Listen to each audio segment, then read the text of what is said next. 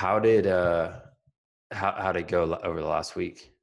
Man, it's been it's been a good week. I mean, I I took what you said to heart about making sure to stay on task and and to not like take my foot off the gas. And I was reaching out to people, called a bunch of people. I feel like um, probably the most calls I've ever had in a week.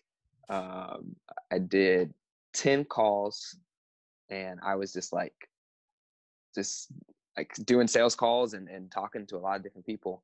Um, and I think it, it was one of my best week. I have it all written down. So I, I closed two new people into private training. Sweet. I had three new people sign up for small group. And then I have a possible four more for that. And then mental training, I closed one more person. Dude, so it was un yeah. yeah. So like I said, Let's it was go, an unbelievable baby. week. Yeah, I know. It was huge. So it was really exciting.